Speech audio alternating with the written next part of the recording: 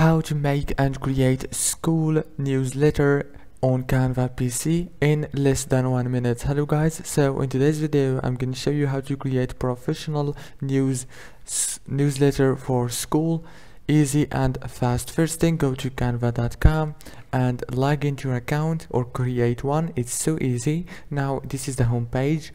Go to the top, click on create a design and search for newsletter scroll down until you find school newsletter click on it and it will take you directly to this page.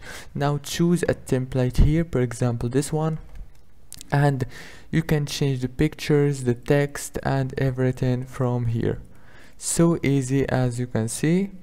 And yeah after you finish editing the template and the text and the pictures if you want from here all what you have to do is go to the top here click on share and download.